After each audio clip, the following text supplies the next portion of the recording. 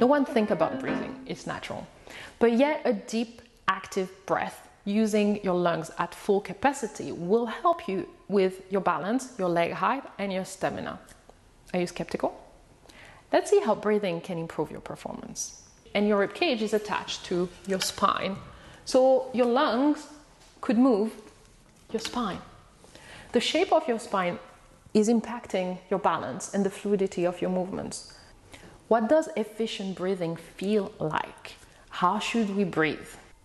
In order to work on your breathing, there's a simple exercise you can do using a flex band. So you're gonna grab your flex band and you're gonna wrap it around your back. There's an exercise you can do with a ball, a small stability ball that's a 7.5 inch, which is a 19 centimeters. One, keep breathing all the way through your variation and combination. Two,